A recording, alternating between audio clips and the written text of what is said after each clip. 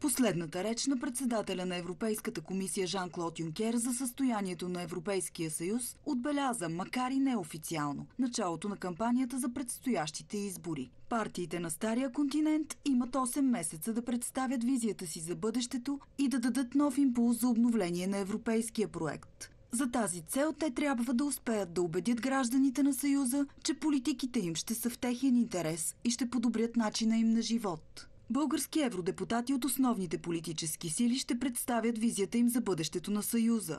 Ева Майдел и Светослав Малинов ще се включат с видеообращения към участниците. Визията си за бъдещето ще споделят Георги Пирински и Ангел Джамбаски. Основните теми, които ще засегнат са сигурност, реформи, бюджет и социални въпроси.